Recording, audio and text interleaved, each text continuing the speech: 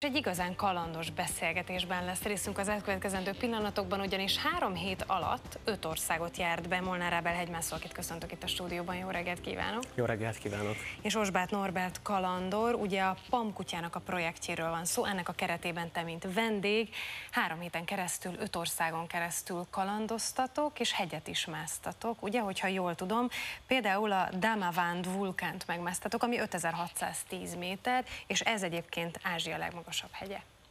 Így van, hivatalosan ez a legmagasabb tűzhágyó Ázsiában. A projekt elsősorban arról szólt, hogy Grúziától elgurultunk egészen Üzbegisztánig, és Iránban közbeejtettük ezt a vulkánt. Sajnos nem sikerült megmászni, de óriási élmény volt, mint minden alkalommal. Miért nem sikerült megmászni? Rosszak voltak az időjárási viszonyok azon a napon, amikor a csústámadást terveztük úgyhogy végül levonultunk a hegyről. Sajnos abban az időszakban kicsit szezon előtt érkeztünk, és abban az időszakban senki nem jutott fel rajtunk kívül, sőt még egy haláleset is történt a vulkánon, nem sokkal érkezésünk előtt. Viszont nem vagyunk csalódottak, mert nagyon nagy élmény volt. Mondd meg, hogy egy hegymászó számára mi az, ami állandóan visszahív téged, vagy visszahúz ahhoz, hogy ismét megmezd a hegyet? Mi ez az érzés, vagy mi az a cél, ami mindig visszahív a hegyhez? Az én személyes küldetésem a hét vulkán kihívás. Ennek lényege, hogy mindegyik kontinens legmagasabb tűzhányóját meg kell mászni. Ebből most már hatnál tartok, tehát csak az utolsó hiányzik, a legkisebb, ami az Antarktiszon magasodik. Viszont ez a projektünk egy kicsit másfajta jellegű, hiszen ugyebár a Pamkutya projekt három szakaszból áll, aminek a végállomása Kína lesz, és abban bízunk, hogy ősszel majd itt meg tudunk valósítani egy felderítő expedíciót. Mi történt ez alatt a három hét alatt? Azért öt országot megjártatok, különböző kultúrákkal találkoztatok, és hát volt sok izgalmas pillanatotok is. Az biztos. Kezdve a grúz hágókkal, a törökországi eltévedéseken át az örmény határ közelében kötöttünk ki, ahonnan katonák fordítottak vissza minket. Aztán Iránban a benzinkúton rossz üzemanyagot tankoltak az autónkba, úgyhogy lerobbantunk a semmi közepén. Így pár napot Tebrizben kellett dekkolnunk, és emiatt kicsit változtatni kellett a menetterven, de vettük az akadályokat, és persze így utólag ezek a rossz élmények mind elnyomódnak, hiszen óriási kalandban lehetett részünk. Mesélj nekem arról az időszakról, amikor magát a vulkánt akartátok megmászni. Hogy van ez egy 5600 méteres hegynél gyakorlatilag? Itt is ugye vannak gondolom alaptábor, egyes tábor, kettes tábor, így vannak felépítve. Hogy haladtatok a táborok között?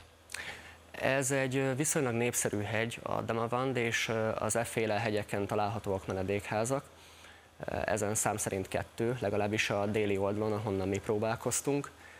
Az első napon rögtön a fentebbi menedékházig bandukoltunk fel, utána a következő napon tettünk egy akklimatizációs kört, és a harmadik napon lett volna a csúcstámadás, azonban annyira rossz időt jósoltak, hogy inkább a levonulás mellett döntöttünk, mert ez esetben nem volt tartaléknapunk, hiszen Iránban a kocsilerobbanásos mizéria miatt úgy alakult a menettervünk, hogy mennünk kellett tovább Türkmenisztán felé. Mennyiben más mondjuk egy vulkánnak a megmászása, vagy mennyiben más egy vulkánnak a teljesen a közet felépítése, nyilván nyugvó állapotban, mint egy más egyéb hegynek a közet felépítése? Hát teljesen más, sokkal egyszerűbb ilyen szempontból megmászni, hiszen a, az ekkora stratovulkánok a kúp alakjuknak köszönhetően viszonylag könnyen mászhatóak, viszont az időjárásnak általában sokkal kitettebbek, és nagyobb távolságokat is kell megtenni. Mm. Nagyjából ennyi. Nagyjából ennyi. És miért pont vulkánokat mászol meg? Mm, még gyerekkoromban kezdtem el hegyeket mászni, és aztán úgy alakult az életem, hogy rátaláltam erre a hét vulkán kihívásra, aminek még nincs magyar teljesítője, szóval hogyha az utolsó is sikerül, akkor reménység szerint én lehetek az első. És nagyon vonzanak, mindig is vonzottak a, a tűzhányók, a láva, a különféle vulkáni kísérőjelenségek, ezek mindig is nagyon tetszettek. Még egy percünk van, mesélj nekem erről az Antarktiszról, mert hát ez is nagyon izgalmasnak és nagy kihívásnak tűnik. Igen, előtte még reménység szerint megvalósul ez a kínai expedíció, amire támogatókat és szponzorokat gyűjtünk most csapatszinten. Ez egy nemzetközi projekt lenne, négy magyar és négy külföldi van benne. Ez kicsit újraírhatja a hét vulkán kihívást, mert információink szerint Kínában vannak magasabb tűzhányok, mint ez az iráni Damavand, ahol most voltunk. És hogyha ez sikerülne, akkor nyilván rákanyarodhatunk az utolsó vulkára, az Antarktiszira. Hát az egy fagyos kihívás lesz. Mindenféleképpen. Nagyon sok sikert kívánok, nagyon szépen köszönöm, hogy itt voltál velem, és várjuk a fejleményeket. Én köszönöm a lehetőséget.